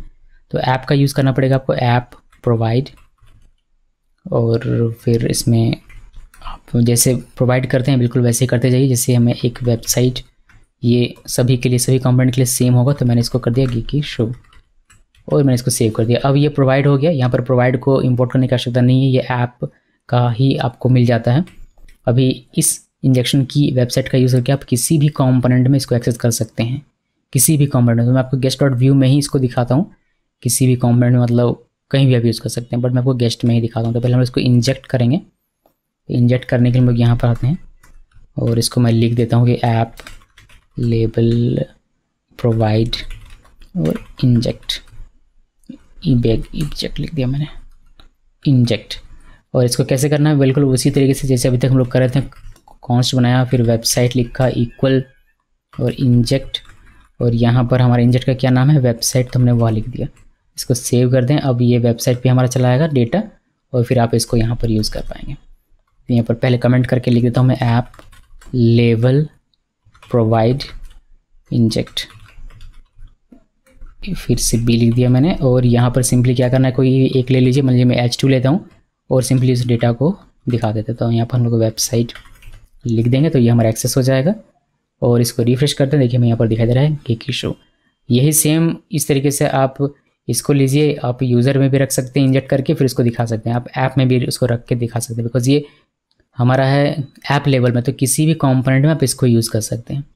समझ में आ गई बात? अभी हम लोग क्या करेंगे, ये हम लोग कमेंट कर देते हैं, इसका कोई काम नहीं है। ये कमेंट किया और ऊपर से सब कुछ कमेंट बहुत बढ़िया। और ये हम लोग कमेंट कर देंगे। ये अब देख लीजिएगा और इसको हाईलाइट कर देते हैं, जो नॉर्मली था, बिल्कुल वैसे। इसको क्लोज़ करते हैं इसका अभी कोई काम नहीं रहेगा। इसको भी कमेंट करते हैं। और आई थिंक नीचे होगा, ये भी कमेंट कर देता हूँ। तो ऐप लेवल का एग्जांपल मैंने आपको दिखा दिया, आप इसको यूज़ कीजिएगा, जैसे आप यूज़ करना चाहें। बिल्कुल वैसे। अभी हमारा नेक्स्ट इसमें टॉपिक है प्रोवाइड एंड इंजेक्ट में वर्किंग विथ रिएक्टिविटी हम लोग को रिएक्टिविटी के साथ कैसे काम करेंगे? When we need to update the data from an injector component in such cases we recommend providing a function that is responsible for mutating the state तो ये कहता है कि डायरेक्टली आप अपने चाइल्ड कॉम्पोनेंट से म्यूटेट मत कीजिए। वह करने के बजाय आप एक फ़ंक्शन दीजिए और उस तरीके मतलब एक मैं आपको दिखाता हूँ प्रैक्टिकल बिकॉज़ इसको प्रैक्टिकली आप ज़्यादा अच्छे तरीके से समझ पाएँगे बजाय इस तरीके से थियोरेटिकली देखने के। सो चलिए इसको मैं प्रैक्टिकली आपको दिखाता हूँ कि ये क्या है वर्किंग विथ रिएक्टिविटी क्या होता है और ये तो आपको पता ही वर्किंग विथ रिएक्टिविटी क्या होता है लेकिन इसको यहाँ पर कैसे यूज़ करना है वो देखिए। इसमें ज़रूरत नहीं है गेस्ट की तो मैं ये क्लोज़ कर देता हूँ यूज़र की भी ओके यूज़र की आवश्यकता पड़ेगी बिकॉज़ हमें यहाँ पर ये लिखना पड़ेगा। सो so, इसको कमेंट कर देते हैं इसकी कोई आवश्यकता नहीं है। और यहाँ पर हम लोग वर्किंग विथ रिएक्टिविटी देखेंगे अभी। वर्किंग विथ रिएक्टिविटी इसको सेव कीजिए। और यहाँ पर हमने अभी बनाने हम लोग एक नया कॉम्पोनेंट यहाँ पर बनाते हैं guest one dot J S guest one dot J S नहीं व्यू बार बार जे एस में बोल देता हूँ। ये मैंने बनाया और यहाँ पर सिंपली जैसे हम लोग अभी तक लिखते हैं, उसे लिखेंगे स्क्रिप्ट सेटअप ये लिखा। उसके बाद टेम्पलेट जो हम लोग लिखते हैं, वह लिखा और यहाँ पर स्टाइल जो हम लोग लिखते हैं, बिल्कुल वही लिख दिया। तो ये हमने एक बेसिक से बनाया हुआ है। अभी हम लोग इसमें देख रहे हैं टॉपिक है कि वर्किंग विथ रिएक्टिविटी तो इसको मैं कहीं लिख देता हूँ। ऊपर में लिख देता हूँ यहाँ। यहाँ लिख दिया, चलिए, बढ़िया। ये लिख दिया मैंने। अभी हम लोग क्या करेंगे, यहाँ पर सिंपली अगर मैं एक एच वन लिखता हूँ एच वन और ये हो गया हमारा गेस्ट वन और मैं इसको रिलेशन बना देता हूँ इससे। तो मैं इसको यहाँ इम्पोर्ट करना पड़ेगा गेस्ट वन को इम्पोर्ट करते हैं और इसको यहाँ लिखते हैं। और ये हमारा ऑलरेडी यहाँ पर रहेगा। तो यहाँ पर इस तरीके से प्रोवाइड लिखने के बजाय मैं यहाँ पर लिख देता हूँ। इसको कमेंट कर देते हैं।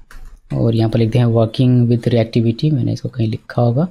यहाँ पर इसको कॉपी करते हैं। और यहाँ पर किया पेस्ट और सिंपली यहाँ पर यूज़र को एक और बार लिख देंगे। यूज़र स्लैश इस तरीके से। लिखा वर्किंग विथ रिएक्टिविटी अभी ये है क्या? कॉन्सेप्ट हम लोग देखने के वाले हैं? तो मैं तो अभी समझ, देख समझ में नहीं लेकिन इतना में समझ में आ गया कि ये एक ऐप डॉट व्यू एक कॉम्पोनेंट है, जिसका चाइल्ड है यूज़र डॉट व्यू और यूज़र डॉट व्यू का चाइल्ड है गेस्ट डॉट व्यू ये हमें समझ में आ गया। तभी अगर मैं वेब पेज अगर मैं देखूँ तो मुझे यहाँ पर गेस्ट वन देखने को मिल जाता है। ये हमें दिख रहा है, बहुत बढ़िया। अभी मान लीजिए कि मैं यहाँ पर कोई एक स्टेट बनाता हूँ। रिएक्ट रिएक्टिव स्टेट तो यहाँ पर बनाते हैं। तो यहाँ पर मैंने लिखा है वर्किंग विथ रिएक्टिविटी और यहाँ पर एक कॉन्स्ट काउंट इक्वल रेफ लिखा और ज़ीरो इसको सेव कर दिया। ये हमने बनाया। अभी ये है ठीक और इसमें हम लोग क्या करते हैं, एक बटन बनाते हैं। तो ये यूज़र को मैं नीचे रखता हूँ इसको हम लोग अगर सिंपली अगर डिस्प्ले करना चाहें काउंट को तो हम लोग काउंट को डिस्प्ले कर सकते हैं। काउंट लिखा बिकॉज़ ये इसी जगह पर है तो इसमें हमें कुछ भी काश करने की आवश्यकता नहीं है। सिंपली काउंट इस तरीके से लिखूँ तो ये जो ज़ीरो आपको दिखाई दे रहा है, ये हमें यहाँ पर दिख जाएगा। देखिए वेब पेज में काउंट ज़ीरो में दिख रहा है गेस्ट वन में दिख रहा है, वो मैं हटा देता हूँ अभी के लिए बिकॉज़ इसका कोई काम नहीं है। तो ये मैंने हटा दिया, अभी हम लोग इसको सेव कर देते हैं, ठीक है? तो हमें क्या देखिएगा सिर्फ़ काउंट देखेगा, इसी का ऐप डॉट व्यू का, और ये मैं यहाँ पर दिख रहा है। अभी एक बटन बनाते हैं जो इसका वैल्यू इंक्रीज करेगा। तो यहाँ पर एक बटन भी बनाते हैं बटन और यहाँ पर हम लिख देते हैं increase from app okay app लिख दिया। अभी इसमें हमें इवेंट लगाना पड़ेगा, जिस, जिससे कि हमारा ये इंक्रीज़ हो। तो क्या करते हैं, यहाँ पर क्लिक इवेंट बनाते हैं और इसमें मैं एक लेता हूँ मेथड यहाँ पर कि इंक्रीज़ काउंट ये हमने बनाया नहीं है हमें बनाना पड़ेगा। तो हम लोग यहाँ ऊपर आते हैं और यहाँ पर एक नॉर्मल से बनाएँगे फ़ंक्शन लिखा और इंक्रीज़ काउंट बहुत ही सिंपल सा कॉन्सेप्ट है ये सी किया। यहाँ पर लिख देते हैं इंक्रीज़ काउंट काउंट कॉल्ड जिससे कि हमें पता चले कि हाँ हमारा ये फ़ंक्शन चला है या नहीं चला है। और सिंपली काउंट डॉट वैल्यू रहेगा बिकॉज़ ये रेफ में है, और हम लोग इसको इंक्रीज़ कर देंगे बाई वन प्लस प्लस तो जब भी ये हमारा फायर होगा तो काउंट का वैल्यू बाई वन इंक्रीज़ होता चलेगा। और हमें कंसोल में दिखाई भी देगा कि हमारा ये इंक्रीज़ काउंट कॉल हुआ है। इसलिए देखते हैं कि ये हमें दिखता है या नहीं। यहाँ पर आया हमें इसको रिफ्रेश करते हैं। देखिए, हमें यहाँ पर क्लिक करेंगे, ये हमारा इंक्रीज़ हो रहा है और ये हमें इस तरीके से दिख रहा है। तो ये हमारा चेंज हो रहा है। क्लिक होने पर। अभी क्या करना है कि ये जो काउंट ज़ीरो है, ये मुझे यूज़ करना है गेस्ट वन डॉट व्यू में। तो कैसे करेंगे? इसको प्रोवाइड करना पड़ेगा, फिर हम लोग उसको कर पाएँगे। तो यहाँ पर आइए प्रोवाइड लिखिए। और इसमें हम लोग दे देते हैं इंजेक्शन की काउंट और इसमें दे देंगे काउंट यानी कि ये वाला जो काउंट रेफ है, ये हमने दे दिया, ये ये हमारा इंजेक्शन की बन गया। अभी इंजेक्शन बन गया तो मतलब प्रोवाइड हो गया। प्रोवाइड होने के बाद हम लोग इसको कर सकते हैं इंजेक्ट तो यहाँ पर आइए और इंजेक्ट कर लीजिए। तो यहाँ पर मैं इंजेक्ट कर रहा हूँ, इस बार मैं लेट यूज़ कर रहा हूँ। लेट काउंट इक्वल और यहाँ पर इंजेक्ट इंजेक्ट इंपोर्ट कर लेते हैं। अगर इंपोर्ट नहीं है तो इंपोर्ट हो जाएगा और यहाँ पर इंजेक्शन की है हमारा काउंट और काउंट में हमारा वैल्यू चलाएगा, जो भी रहेगा ज़ीरो है तो ज़ीरो इनिशियली हमारा चलाएगा। अभी ये जो है, ये मैं इंक्रीज़ डिक्रीज़ करूँगा अपने इस टेम्पलेट से। तो देखेंगे कि ये होता है या नहीं होता है और ये सही तरीका है या नहीं है। वो हमें देखना है। तो हम लोग यहाँ पर आएँगे पहले इसको डिस्प्ले कर लेते हैं। तो यहाँ पर मैं क्या कर रहा हूँ वर्किंग विथ रिएक्टिविटी में ऊपर में लिखा हुआ है। दोबारा से लिखने की आवश्यकता नहीं है। तो एच में आते हैं, यहाँ पर काउंट और यहाँ पर हम लोग अगर इस तरीके से काउंट लिखें और मैं इसमें सेव करूँ अभी के लिए, और अगर मैं आपको यहाँ पर दिखाऊँ, यहाँ पर हम लोग लिख देते हैं guest one count guest one count और ये इसको मैं चेंज करके कर देता हूँ ऐप काउंट ऐप काउंट इसको सेव किया। और इसको यहाँ पर आते हैं। और यहाँ पर देखिए, इसको रिफ्रेश किया। इसे इंक्रीज़ करेंगे, दोनों ही जगह हमारा ये चेंज होगा। बहुत अच्छी बात है। ये रिएक्टिविटी को बरकरार रख रहा है। इसी को रिएक्टिविटी कहते हैं कि यहाँ चेंज हो रहा है। तो उसका जहाँ जहाँ भी यूज़ किया गया, उसको वह वहाँ हमारा वैल्यू चेंज होना चाहिए, जो कि ठीक है और सही काम कर रहा है। इसका ये नेचर है। ठीक है, ये हमारा काम हो गया। अभी हम लोग क्या करने वाले हैं कि हम लोग अपने काउंट का वैल्यू यहाँ गेस्ट वन डॉट व्यू से चेंज करेंगे, जो कि रिकमेंडेड नहीं है। आपको अपना जो भी रिएक्टिव स्टेट है, जैसे कि हमारा रिएक्टिव स्टेट काउंट है, इसको अपने इस कंपोनेंट से, जहाँ पे इंजेक्टर कंपोनेंट होता है, उस कंपोनेंट से उसको म्यूटेट नहीं करना होता है लेकिन हम लोग करेंगे बिकॉज़ हम लोग बदमाश हैं। तो हम लोग यहाँ पर आते हैं और बटन एक बनाएँगे, ये बटन बनाया और हम लोग यहाँ पर लिखते हैं increase increase from guest one ये लिखा और यहाँ पर हम लोग एक क्लिक इवेंट देंगे क्लिक और इसको लिखेंगे हैंडल क्या काउंट लिखा हमने सेव किया तो हैंडल काउंट अभी है नहीं, इसको हमें बनाना पड़ेगा तो हम लोग यहाँ पर आएँगे। और हैंडल काउंट एक बनाएँगे, बहुत ही सिंपल सा हैंडल काउंट लोग बनाएँगे, जैसे हमने बनाया हुआ है इंक्रीज काउंट के लिए इस तरीके से हैंडल काउंट यहाँ पर बना रहे हैं। मैं इसको कॉपी कर सकता हूँ।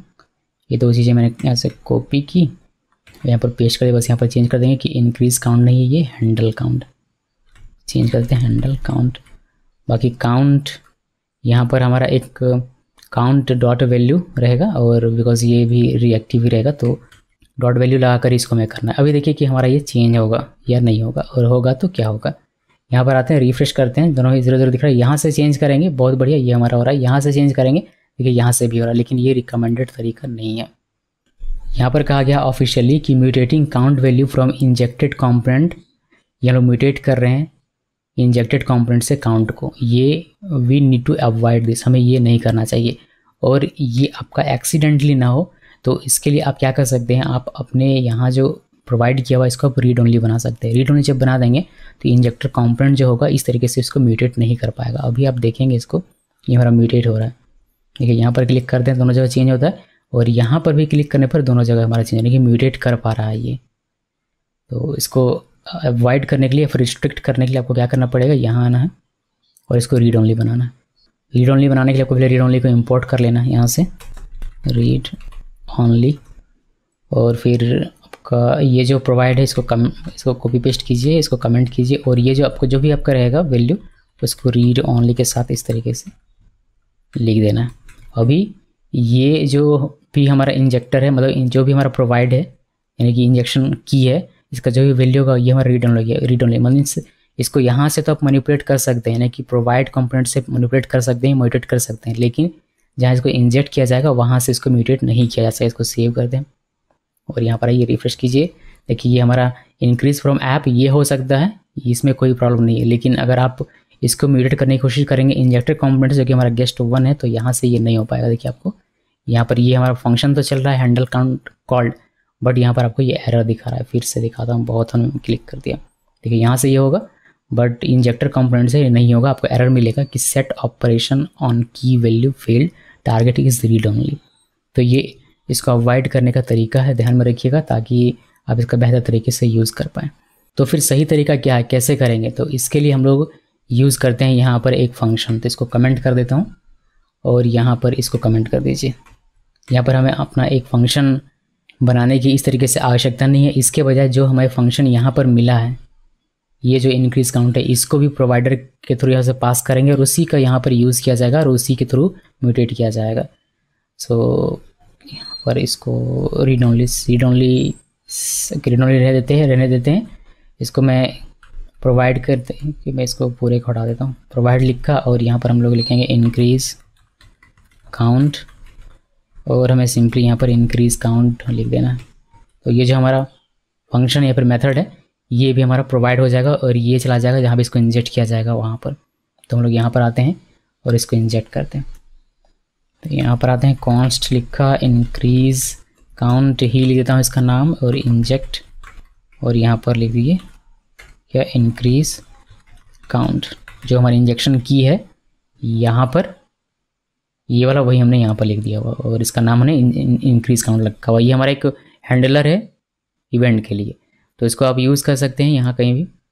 जैसे मैं इसी को कॉपी पेस्ट करूँ और कमेंट से आउट कर दें। और यहाँ पर हैंडल ये लिखने के बजाय आप लिखिए सिंपली इंक्रीज काउंट अब ये इंक्रीज फ्रॉम गेस्ट होगा। इसको मैंने सेव किया। सेव करने के बाद अभी आई थिंक सब कुछ बढ़िया है। कोई एरर नहीं आना चाहिए। और यहाँ पर भी हमने रीड ओनली इसको रखा, इसको सेव करते हैं सेव करने के बाद अभी यहाँ पर आइए और इसको रिफ्रेश कीजिए। देखिए ये इंक्रीज फ्रॉम ऐप यहाँ से तो होगा ही। अब यहाँ गेस्ट से से भी होगा और बिना किसी वार्निंग के होगा बिकॉज़ यहाँ से हम लोग नहीं कर रहे हैं। हम लोग इसका फ़ंक्शन यहाँ हमने प्रोवाइड कर दिया, उसी को इंजेक्ट किया गया और उसी फ़ंक्शन से इसको म्यूटेट किया जा रहा है। तो ये है सही तरीका इसको म्यूटेट करने का। तो ये सब चीज़ ध्यान में रखिए छोटी छोटी बातें हैं, लेकिन इसको ध्यान में रखिए। अब आप रीड ओनली के बजाय इसका भी यूज़ करेंगे तो ये भी होगा। ऐसा नहीं कि रीड ओनली ही लिखना है वहाँ पर, नहीं। यहाँ पर इससे होगा और इससे भी आपका होगा। ये है सही तरीका इसको म्यूटेट करने का। तो ये है आपका वर्किंग विथ रिएक्टिविटी रिएक्टिविटी के साथ कैसे वर्क करना जब प्रोवाइड और इंजेक्ट का यूज़ करते हैं तो ये पूरा कॉन्सेप्ट है इसका। ठीक है तो अच्छे तरीके से इसको यूज़ कीजिएगा। सही तरीके से अगर आप, देखिए, ये फाउंडेशन है, ये मैं आपको जो बता रहा हूँ, आपको लग रहा हो कि इतना डेप्थ में जाने की आवश्यकता नहीं है, लेकिन यही आपका बग क्रिएट करके आपको देगा आपके एप्लीकेशन में। सो डेप्थ में सीखिए। ताकि आपको कहीं से हेल्प लेने की आवश्यकता न पड़े आपका दिमाग अपने आप उछल कूद करके काम करे। सो so, ये था वर्किंग विथ रिएक्टिविटी अब एक और कॉन्सेप्ट हमारा है इसको मैं यहाँ से कर देता हूँ आई थिंक क्लोज और ये करके इसको भी कमेंट कर देते हैं। इसका भी कोई काम नहीं है और आई बिलीव इसको भी हम लोग कमेंट कर देते हैं। तो वर्किंग विथ रिएक्टिविटी ये हमारा कॉन्सेप्ट यहाँ पर ख़त्म हो जाता है। मैं इसको कमेंट कर इसको भी कमेंट इसको भी कमेंट कर देता हूँ। अभी हम लोग इसमें देखेंगे वर्किंग विथ सिंबल जिस सिंबल के साथ कैसे काम करते हैं। तो पहले उसका थ्योरी देख लीजिए, उसके बाद। वर्किंग विद रिएक्टिविटी हमने देख लिया। अब देखिए वर्किंग विद सिंबल की। If you are working in a large application with many dependency providers और you are authoring component that are going to be use by other developer it is best to use symbol injection की to avoid potential collisions ये six introduce a new data type called symbols. Symbols are a very powerful feature that allows us to mitigate the risk of name collision typically in plugins and libraries तो ये जो symbol है, ये हमें मिला ई S six में और उसी का हम लोग यहाँ पर यूज़ करेंगे। इसका यूज़ करके आप क्या कर सकते हैं? नेम कॉलिजन को रोक सकते हैं। नेम कॉलिजन नहीं होगा। यानी कि अगर आप बहुत सारा प्रोवाइडर यूज़ करते हैं, बहुत सारे इंजेक्टर यूज़ करते हैं अपने एप्लीकेशन में तो नेम कॉलिजन ना हो, इसकी वजह से सिंबल की का यूज़ करने के लिए कहा गया है। सिंबल में वर्क करने से पहले, यानी कि वर्किंग सिंबल जिसमें हम लोग व्यू जेस में देखें उससे पहले सिंबल का आपको बेसिक पता होना चाहिए। अगर आपने ई सिक्स में इसको नहीं पढ़ा है तो मैं आपको बता दूँ कि ये यूनिक आइडेंटिफायर कैसे हमें जनरेट करके देता है। जैसे कि अगर मैं यहाँ पर एक बनाऊँ, कोई भी कुछ भी बनाते हैं, जैसे मैं यहाँ पर एक कॉन्स्ट बनाता हूँ कॉन्स्ट बनाया और एक्स लिखा मैंने इक्वल और यहाँ पर लिखा सिंबल ठीक है, और इसमें हम लोग वैल्यू दे देते हैं। मान लीजिए मैंने वैल्यू दे दिया इसमें हेलो ठीक है या फिर मैं पहले आपको स्ट्रिंग से दिखाता हूँ, ये आपको अच्छे से समझ में आएगा। मैंने लिखा कॉन्स्ट और एक्स लिखा इक्वल और यहाँ पर मैं लिखता हूँ एक स्ट्रिंग स्ट्रिंग लिखते हैं हम लोग। हेलो ठीक है हेलो लिख दिया। अभी उसके बाद एक और स्ट्रिंग लिखेंगे कॉन्स्ट वाई इक्वल और यहाँ पर लिखते हैं हम लोग। हेलो ये लिखा और इंटरप्रेस किया। अभी अगर हम लोग इसमें कंसोल लॉग करते हैं क्या कंसोल लॉग करेंगे कि x equal equal equal y है या नहीं है। तो अगर आप इसको इंटरप्रेस करेंगे तो आपकी ट्रू मिलेगा। यानी कि x का जो वैल्यू है हेलो और y का जो वैल्यू है हेलो ये दोनों सेम होने की वजह से यहाँ पर x equal equal equal y true हमें दिखता है। यानी कि दोनों का वैल्यू यहाँ पर सेम माना जा रहा है, ये जावास्क्रिप्ट में कह रहा है। लेकिन इसी चीज़ को अगर आप सिंबल के साथ करते हैं, मैं आपको दिखाता हूँ, मैं कॉन्स लिखा और यहाँ पर ए लिखते हैं इक्वल यहाँ पर सिंबल लिख के और इसका भी वैल्यू हम लोग इसको वैल्यू एक्चुअली कहाँ जाता है? इसको कहा जाता है डिस्क्रिप्शन इसका। तो यहाँ पर हेलो लिखते हैं। हेलो लिखा इंटरप्रेस किया, फिर कॉन्स्ट और एक बी लिखा इक्वल यहाँ पर सिंबल लिखेंगे। सिंबल का एस मैं कैपिटल में लिख रहा हूँ और सेम वही लिखेंगे। हेलो तो इस केस में भी क्या होना चाहिए? अगर मैं ए और बी को कंपेयर करूँ तो ये ट्रू होना चाहिए। देखते हैं, ये होता है या नहीं? कंसोल डॉट लॉग और a equal equal equal b किया। ओके बी किया। और इंटरप्रेस क्या देखिए देखिए आपको ये फॉल्स दिखाई देगा। यहाँ भी हमने हेलो हेलो देखिए स्ट्रिंग में जब हमने हेलो हेलो किया और एक्स वाई को कंपेयर किया तो ये हमें ट्रू मिल गया। बिकॉज़ इसने कहा कि हाँ ये दोनों वैल्यूज़ जो हैं, वो ट्रू सेम है तो ट्रू आ गया। लेकिन जब सिंबल के साथ आप वही काम करते हैं हेलो हेलो लिखा और ए बी को जब हमने कंपेयर किया तो ये हमें फॉल्स दिखाई देता है। इसका मतलब क्या होता है कि सिंबल में देखिए, यहाँ क्या लिखा हुआ है, उसको ये नहीं देखता। ये आपको एक यूनिक आइडेंटिफायर प्रोवाइड करते करता है। यानी कि ए और बी का वैल्यू यहाँ पर सेम नहीं माना जाएगा। यानी कि सैम्बल के अंदर में अगर कुछ भी आप लिखते हैं, मान लीजिए कि कोई ऑब्जेक्ट ही लिखा तो वह ऑब्जेक्ट और सिंबल के अंदर आप कोई एक दूसरा ऑब्जेक्ट बनाते हैं बनाते हैं सेम नाम के साथ ही क्यों ना बना लें? तो वह दोनों ऑब्जेक्ट सेम नहीं माना जाएगा। आपके पूरे एप्लीकेशन की मैं बात कर रहा हूँ। तो ये बेसिक कॉन्सेप्ट है सिंबल का। अब सिंबल को आप यूज़ नहीं कर सकते हैं स्ट्रिंगीफाई में। एक नोट बता रहा हूँ मैं। इसको नोट का सिल्क कर लीजिए। अगर आपने नहीं पढ़ा है तो सिंबल का जो भी आपका रहता है, जैसे ए तो ए को आप स्ट्रिंगीफाई नहीं कर सकते हैं। और इसको आप फोर लूप में यूज़ नहीं कर सकते आपको दिखाएगा नहीं ये स्कीप होकर वैल्यू दिखाई देगा। मतलब इसका जो भी रहेगा डिस्क्रिप्शन जैसे हेलो है वो आपको नहीं दिखेगा आपके वेब पेज में। और साथ में आप इसका डायरेक्टली यूज़ नहीं कर सकते हैं अपने डोम में यानी कि आप अलर्ट इसको नहीं कर सकते। कंसोल करके तो आप देख सकते हैं कि ए में क्या है और बी में क्या है लेकिन अलर्ट आप करके ए बी को नहीं देख सकते। उसको आपको स्ट्रिंग में पहले टू स्ट्रिंग करके कन्वर्ट करना पड़ेगा तभी आपका होगा। सो so, ये बेसिक चीज़ें हैं। जैसे मैं आपको दिखाऊँ यहाँ पर कंसोल डॉट लॉग और यहाँ पर ए को हम लोग देखें तो हमें दिखाई देगा कि ये सिंबल हेलो लिए हुए। इसी को अगर मैं अलर्ट यहाँ पर काम करेगा तभी तो। देखिए, अगर मैं अलर्ट करवाता हूँ ए को तो ये हमारा हमें बता देगा कि can not convert symbol value to string ये अलर्ट नहीं बनेगी, यहाँ पर आप डोम में इसको यूज़ नहीं कर पाएँगे। अगर आपको यूज़ करना है तो आपको क्या करना पड़ेगा?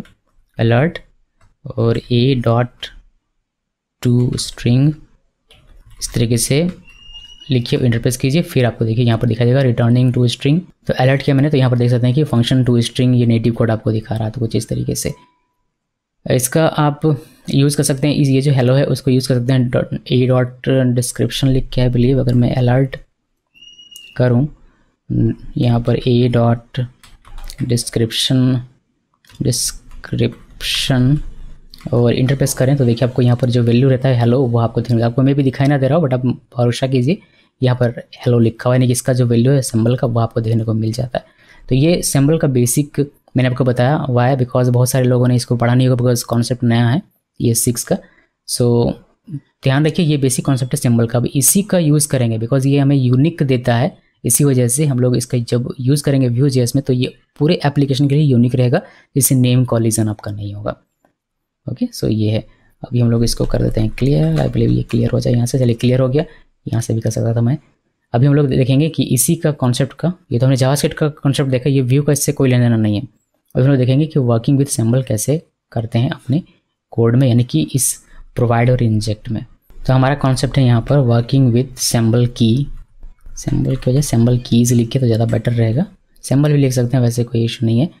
इसलिए हम लोग, इसके लिए हम लोग क्या करते हैं कि एक फोल्डर बनाते हैं। बिना फोल्डर बनाए भी काम कर सकते हैं, मैं बट मैं बना रहा हूँ। यहाँ पर यूटिलिटीज़ के नाम से एक मैंने फोल्डर बनाया और यहाँ पर मैं एक फ़ाइल बनाऊँगा जावा स्क्रिप्ट का, जिसमें से बनाएगा सारे कीज़ सिंबल कीज़ तो जेस फ़ाइल बनाना है आपको और यहाँ पर आपको एक्सपोर्ट डिफ़ॉल्ट एक्सपोर्ट डिफ़ॉल्ट और माई इंजेक्शन की आप वैसे नाम अपनी मर्ज़ी से कुछ भी लिख सकते हैं बट मैंने ये लिख दिया बिकॉज़ मैंने डॉक्यूमेंटेशन से इसको पढ़ा हुआ है।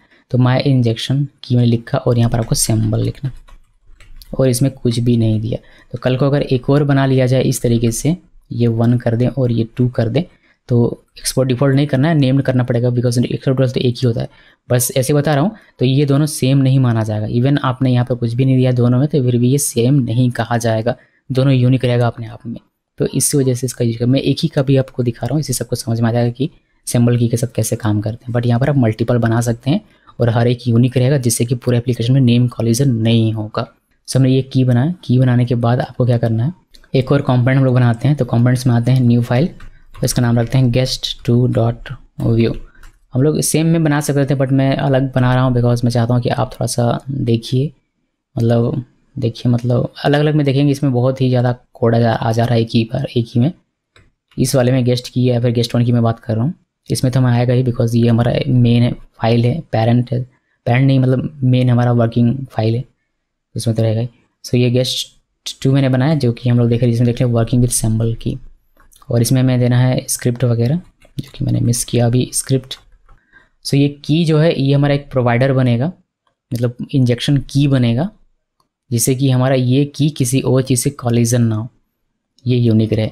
यहाँ वन हटा देते हैं। पहले इस गेस्ट टू को मैं यूज़र में लिख देता हूँ, जिससे कि हमारा क्या हो, जिससे कि ये डिसेंडेंट में चला है तो यहाँ पर कीज़ लिख देते हैं और ऊपर वाला कमेंट कर देता हूँ गेस्ट वन का कोई काम नहीं है और यहाँ पर आना है और गेस्ट टू इम्पोर्ट हो जाएगा। इसको सेव कर दिया इम्पोर्ट हो गया गेस्ट टू यहाँ पर देख सकते हैं इम्पोर्ट हो गया। तो सेव कर देते हैं। अभी हम लोग गेस्ट टू में अगर कुछ लिखेंगे फॉर एग्ज़ाम्पल मैं यहाँ पर लिखूँ H one guest to save करेंगे। तो ये ये इसका चाइल्ड है और ये चाइल्ड है इसका। और यहाँ पर आपको लिखना पड़ेगा, जो कि आपने लिखा हुआ नहीं है यूज़र कुछ इस तरीके से। सेव किया सेव करने के बाद यहाँ पर देखेंगे तो गेस्ट टू आपको दिखाई देगा विदाउट एनी एरर बहुत अच्छी बात है। अभी तक हम लोग सैम्बल की का यूज़ हमने नहीं किया। अब हम लोग यूज़ करेंगे। तो इस की का यूज़ किया जाएगा इंजेक्शन की के तौर पर जिससे कि पूरे एप्लीकेशन में ये हमारा यूनिक रहे।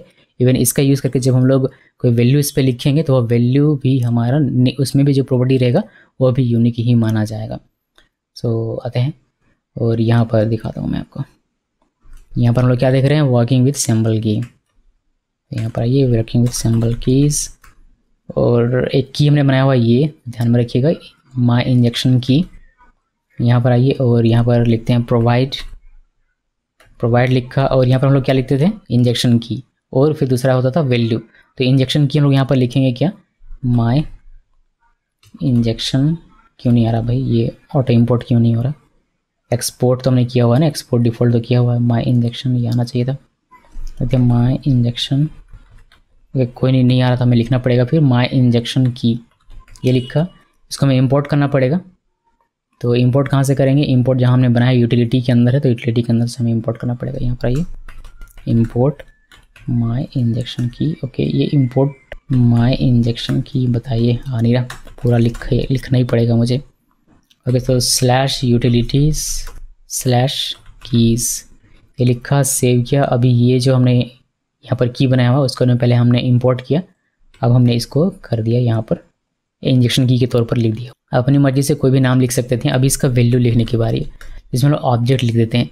कोई अगर आप स्ट्रिंग भी लिखेंगे तो भी चलेगा बट स्ट्रिंग लिखने का फ़ायदा यहाँ पर होगा नहीं। तब एक बड़ा एग्ज़ाम्पल देखिए। जैसे ऑब्जेक्ट लिख रहा हूँ मैं नेम लिखा। और इसका नेम में लिखने कुछ यूनिक सा लिखते हैं। कार्ट लिखा। कार्ट हम लोग फाइव कर देते हैं। और प्रोडक्ट प्रोडक्ट हम लोग इसका कर देते हैं आईफोन या फिर जो भी आप चाहें वो लिख सकते हैं। तो ये हमारे इंजेक्शन की है और इसके वैल्यू एक, इसका वैल्यू एक ऑब्जेक्ट है, जिसमें कार्ट है और प्रोडक्ट है। अब कल को अगर कोई और इंजेक्शन की यहाँ से बनाया जाता है कुछ इस तरीके से, ठीक है, इस तरीके से वन और टू इस तरीके से बनाया गया तो ये वन रहेगा और इसी को अगर सेम कॉपी करके पेस्ट करके और यहाँ टू कर दिया जाए सिर्फ़ तो यहाँ पर आपका कार्ट है, यहाँ प्रोडक्ट है, यहाँ कार्ट है, यहाँ प्रोडक्ट है, फिर भी ये सेम सेम कॉलिजन नहीं करेगा बिकॉज़ ये अलग चीज़ है और ये अलग चीज़ है। इसका वैल्यू यूनिक रहेगा और इसका अपना वैल्यू यूनिक रहेगा। जैसे यहाँ पर हमने ये लिखा, इसका मतलब क्या किया हमने ये यहाँ पर लिखा हुआ ब्रैकेट के अंदर में। तो यहाँ पर वैल्यू सेम था, फिर भी हमने इन दोनों को कंपेयर किया था, दोनों हमारा फॉल्स आ रहा था, अभी मैंने आपको कंसोल में दिखाया था।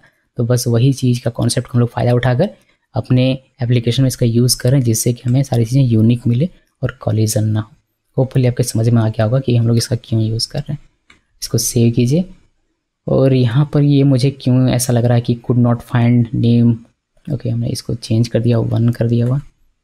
इसके तो ये हो गया। यहाँ पर वन हटा देना। ओके सो हमने इसको सेव हमने इसको सेव किया। ये हमारा प्रोवाइड हो गया। अब इसको बस सिंपली इंजेक्ट कीजिए और इसको यूज़ कीजिए। दिखाता हूँ कि कैसे। कहाँ करना है? इसको यहाँ पर करना है। तो यहाँ स्क्रिप्ट के अंदर आते हैं। और यहाँ पर पहले इंपोर्ट करेंगे किसको? इंजेक्ट को। इंजेक्ट ओके हमें ये लिखना पड़ेगा ब्रैकेट के अंदर में।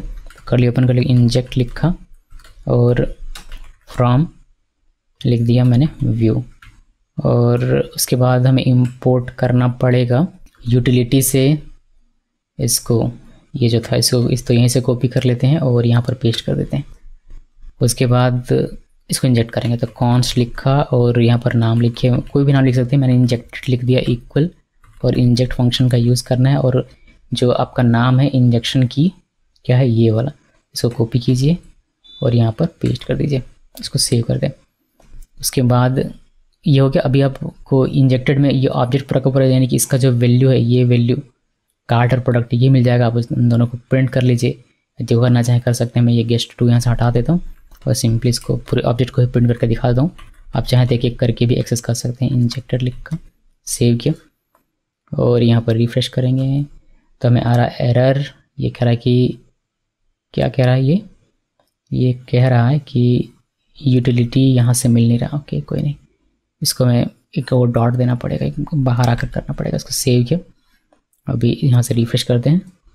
और इसमें एक और एरर है, एक और error uncaught syntax error the requested module keys dot JS does not provide an export name this okay हमने इसको डिफ़ॉल्ट बना दिया। हमें नेम्ड एक्सपोर्ट इसको बनाना है। हमने इसमें सिंपली कॉन्स्ट लिखना है। बिकॉज़ हमने यहाँ पर कर्ली दिया हुआ।